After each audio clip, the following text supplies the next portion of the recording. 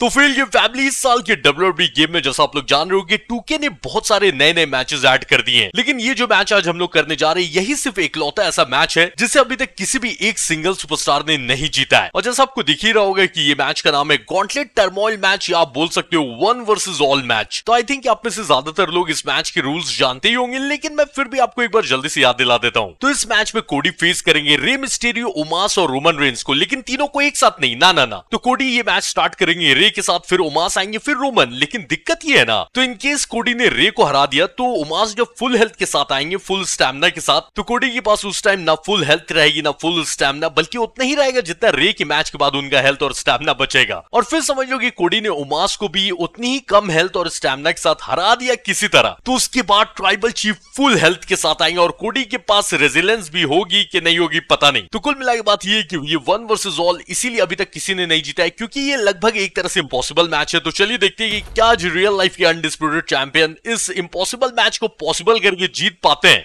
या पहले ही एलिमिनेट हो जाते हैं। फ़िलहाल भी जब तक आज गेम प्ले स्टार्ट हो रहा है, एकदम फटाक से वीडियो को लाइक कर लीजिए मेरे भाई। नए तो सब्सक्राइब कर लीजिए, कोडी, सही है सही है। स्टार्टिंग में क्रॉस रोड्स दे दिया वेट नहीं करा।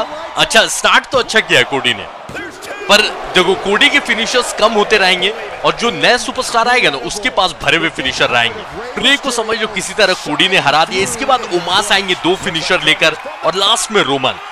ऐसी कोई गारंटी नहीं है कि लास्ट तक कोडी पहुंचेंगी। ऐसे कोडी अच्छा खेलते हैं टू में। और किंग भी बने हुए भाई टू के ट्वेंटी फोर के। तो मुझे लगता है कि लास्ट तक तो पहुँच ही जाना चाहिए। बहुत अच्छा खेल रहे हैं।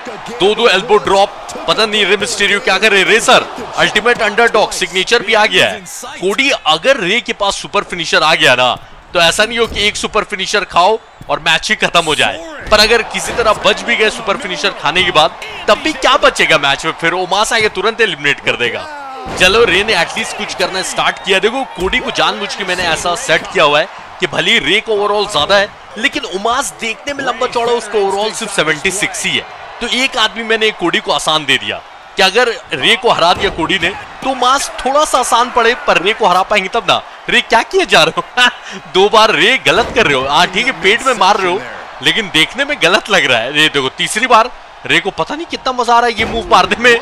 तेरे नाम रेफरी भी कंफ्यूज हो गया है कि ये चल क्या रहा है? उडी ने अपना सिग्नेचर गवाया, लेकिन चलो रे के एक ही मूव से वो बच के निकले। रे के पास 619 प्लस की दो फिनिशर है।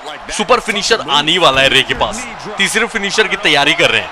पर रे देखो, मैं वॉर्न करना चाहूँगा कि ऐसा नहीं हो कि तैयारी करते रह जाओ और मैच ही निकल जाए हाथ से। एक सिग्नेचर दो फिनिशर तीसरा भी आने वाला है। लगाना स्टार्ट करो ना रे हेड येलो कर दिया कोडी का पिनफॉल नहीं करना चाहिए अभी। मैं क्या बोल रहा हूँ? सिक्स वन नाइन लगा के लेते ही और तीन फिनिशर सुपर फिनिशर हो जाएगा। कोडी को एलिमिनेट करना आसान होगा। इसके बाद उमास बस बैक स्टेज में तैयार होगा भाई, कि रे इनकेस एलिमिनेट हो गए, जो कि बहुत ही हाई चांसेस लग रहा है कि रे मिस्टेरियो एलिमिनेट हो जाएँगे। हाँ अगर सुपर फिनिशर लेता है तो अलग बात है। रे देख लो फिनिशर देने का नाम ही नहीं ले रहे रे कोडी के साथ मिली भगत है क्या ये ऐसा लग रहा है कि इस मैच में रे बिक चुके हैं आप कुछ नहीं रखा है। रे में देख रहे हो ना फिनिशर विनिशर दे रहे नहीं, जबकि सिक्स वन नाइन भी आया हुआ है। हाँ अगर सुपर फिनिशर दे दिया तो उसी टाइम मैच समझ लो कि 90 परसेंट मैच खत्म। कोडी के पास दो दो फिनिशर रेज मीटर यूज़ करके फाइनली 619 देने जा रहे थे रे। पर कोडी के पास अब सिग्नेचर आ गया है। रे, थोड़ा संभल कर। अगर कोडी ने लगा दिया सिग्नेचर ना तो रे के पास पता नहीं रेजिलेंस है भी कि नहीं है। पिनफॉल काय को कर रहे हो? नहीं होगा। रेजिलेंस तक नहीं जाएगी। बॉडी येलो हेड येलो अभी कहाँ से रे? और रे का हेड लाल है। ये गॉन्टलेट टर्मोइल मैच में ना फ़र्स्ट मैच बहुत ज़्यादा इंपॉर्टेंट है, बहुत ज़्यादा अच्छा उसमें खेलना, अपनी रेजिलेंस बचाना, ताकि सेकंड मैच में थोड़ा संभाल पाओ अपने को। क्योंकि थर्ड मैच तक तो पहुँचना बहुत बड़ी बात होती है। इस मैच में एक ही हेल्थ के साथ दो लोगों को एलिमिनेट करना प्लस कि उन दोनों के पास दो दो फिनिशर तो ये बच्चों वाली बात नहीं है। रोमन एक बार थर्ड तक पहुँच गए थे लाइव स्ट्रीम में, याद है? लेकिन थर्ड वाले में कोडी थे और कोडी ने आके एलिमिनेट कर दिया था। इसलिए मैं बोल रहा हूँ कि ये वाला मैच जीतना बहुत मुश्किल है। हाँ आठ जीबी का जब से अपडेट आया, तब से ये वाला मैच नहीं किया है रोमन के साथ। लेकिन मेरे को अभी भी लगता है कि ये वाला मैच ऐसे थ्री ऑन वन जीतना वन वर्सेस ऑल बहुत ज़्यादा मुश्किल है और पता नहीं पूरा साल खत्म हो जाएगा तो जीत भी पाएगा कि नहीं। क्या कोडी आज ही इस चीज़ को गलत साबित करेंगे? पिनफॉल करके देखते ना कोडी। हेड लाल था बॉडी येलो थी। तमाचा मारने की ज़रूरत थी नहीं रे अच्छे आदमी है। सिग्नेचर फिनिशर दोनों आया हुआ है कोडी खत्म खत्म। रे का आई थिंक के रेजिलेंस गई। अगर रेजिलेंस है तो। पता नहीं, मुझे याद नहीं आ रहा है। कोडी के पास सुपर फिनिशर आ गया, माँ कसम। रे की रेजिलेंस बच गई। आई थिंक रेजिलेंस है, लेकिन बच गई। अगर ये सुपर फिनिशर लगा ना तो सुपर तरीके से रे एलिमिनेट होने वाले बहुत ही गंदे तरीके से, ऐसे एक तरह से ना कोडी का फ़ायदा हुआ, पता है? अगर सुपर फिनिशर रे को अभी दे देते तो उमास के सामने क्या करते हैं? ऐसे रे के पास भी सुपर फिनिशर आ गया है। दो लोगों के पास इस मैच में सुपर फिनिशर आया। कोडी तो नहीं दे पाया। अब देखते रेत देते हैं या नहीं। तो ये सुपर फिनिशर से ना मुझे एक आइडिया आ गया। अगर गॉन्टलेट मैच में किसी तरह दो फिनिशर बचा के रखो, फ़िलहाल कोडी का ना ना पिनफॉल नहीं होगा। एक सिग्नेचर तो लगा है ना। अच्छा किया रे 619 नहीं दे पा रहे थे, यही लगा दिया, सही है। हाँ तो गॉन्टलेट मैच में अगर सेकंड आदमी को एलिमिनेट करने के बाद तीन फिनिशर अगर किसी तरह आ गया तो लास्ट आदमी को आते के साथ सुपर फिनिशर लगाओ और एलिमिनेट करके जीत जाओ। इतफाक हो सकता है, लेकिन ये सुपर फिनिशर लगा के आदमी जीत सकता है, ये वन वर्सेस ऑल मैच ऐसे वन वर्सेस थ्री से ज़्यादा भी हो सकता है, पता है ना? वन वर्सेस एट भी कर सकता हूँ। लेकिन क्या फ़ायदा? वन वर्सेस थ्री कोई जीते, तब ना आदमी one versus four one versus five ऐसे करे। वन वर्सेस थ्री कोई नहीं जीत पाया अभी तक। आज हो सकता है कि कोडी इस चीज़ की शुरुआत करे।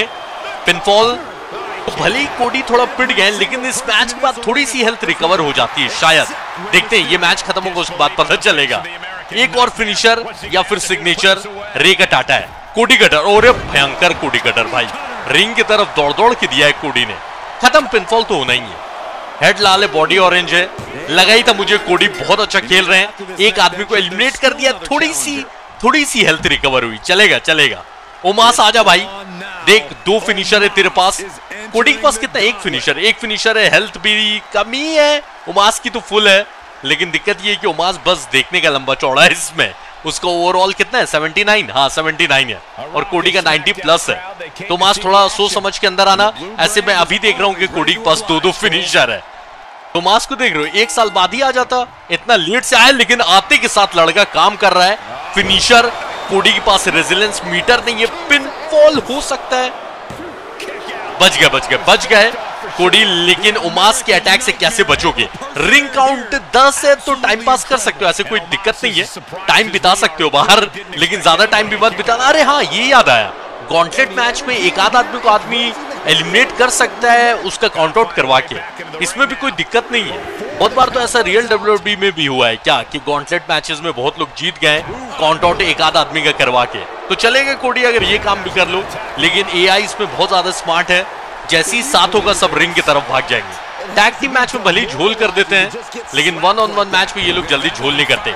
कोडी पास दो दो फिनिशर तीसरा बस आने ही वाला है। उमास, अगर तीसरा आ गया ना, तेरी खैर नहीं है भाई।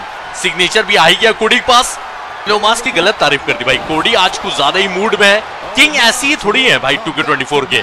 चलो भाई उमास का टाटा के लिए ओ नहीं, अभी नहीं अभी नहीं गया है, लेकिन इसके पास रेजिलेंस नहीं है। तो हो सकता है कि इसका भी tata bye bye goodbye हो जाए, क्योंकि कोडी के पास एक सिग्नेचर आ चुका है। अभी आया अभी आया। इन कोडी ये गलत बात है उमास के साथ जाती हो रही है। एक और फिनिशर लगा, शायद ये एलिमिनेट ही हो जाएगा। हेड लाल करवा लिया उमास यार, और अब एलिमिनेट भी हो जाएगा भाई तू। टाटा हो गया यार इसका। अब रोमनी आके संभालेंगे दो दो फिनिशर्स के साथ। गया गया गया। चलो भाई, इसका टाटा बाय बाय हो गया है। कोडी की रेजिलेंस तक नहीं गई। आज क्या होने वाला है? क्या वन वर्सेस थ्री कर पाएँगे कोडी? तो रोमन के पास हालाँकि दो फिनिशर है, लेकिन कोडी के पास भी सिग्नेचर है। प्लस कोडी ने अपनी रेजिलेंस तक बचा ली, जो कि काफ़ी इंप्रेसिव है। अगर ऐसे ही जाते रहे। ट्राइबल चीफ लेकिन आठ जीबी का अपडेट भाई। ट्राइबल चीफ की जगह कोई और होता ना। तो शायद कोडी का लक होता, पर कोडी अगर धुस्से के साथ अटैक स्टार्ट कर दो पेडिग्री कोडी कटर जो है सब आज दे मारो, शायद कुछ हो सकता है, अभी भी रोमन रिवर्स भी नहीं कर रहे हैं। कोडी, याद है मैंने स्टार्टिंग में एक तरीका बोला था, तीन फिनिशर ला के सुपर फिनिशर वो ट्राई करो, तब ट्राइबल चीफ को पिनफॉल हो सकता है। जल्दी जल्दी, अभी मत देना फिनिशर मैं यही सजेस्ट करूँगा। अभी देना फ़ायदेमंद नहीं था, और रोमन ने ऐसे भी रिवर्स कर दिया। पर वो पीछे वाला क्रॉस रोड्स रिवर्स नहीं किया था, इसलिए क्रॉस रोड्स अभी भी है कोडी के पास। रेजिलेंस जाएगी। पता नहीं, लगता नहीं है भाई। आठ जीबी अपडेट याद है ना?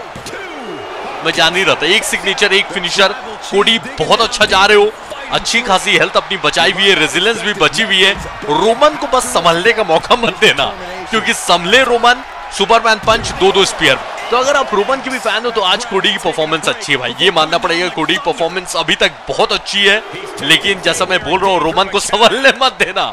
अगर जीतना है तो क्योंकि दो स्पीयर मुझे फ्यूचर में नज़र आ रहे हैं। बस एक स्पीयर के लिए तैयार हो जाओ। कोडी की रेसिलेंस तो अब जानी ही है, और लगता है कि मैच अब खत्म होने वाला है। कोडी किकआउट रेजिलेंस गई। पर अभी भी चांस है, अभी भी चांस है कि शायद ये कुछ कर पाए। रोमन के पास अभी भी एक सिग्नेचर एक फिनिशर और कोडी की हालत अब टाइट है।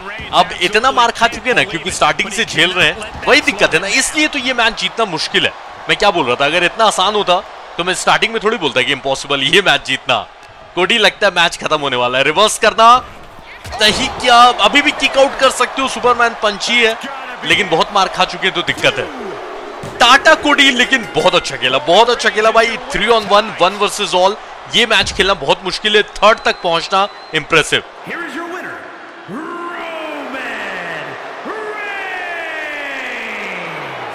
तो फ़िलहाल में आप लोग कमेंट करना और बताना कि ऐसा वन वर्सेस ऑल मैच आप और किसका देखना चाहोगे? और ये भी कमेंट करके बताना कि नॉकआउट ऑन कर दूँगा। लेकिन जानते हो ना कि ये नॉकआउट दो धारी तलवार है। अगर सामने वाला नॉकआउट कर सकता है तो जो बेचारा अकेला है, वो भी नॉकआउट हो सकता है। तो चलिए, जाने से पहले वीडियो को लाइक करिएगा नए तो सब्सक्राइब करिएगा। 500 के सब्स के हम लोग बहुत ज़्यादा करीब है। तो अगर सब्सक्राइब नहीं किया तो सब्सक्राइब कर लीजिएगा। मैं मिलता हूँ नेक्स्ट वीडियो में। टाटा।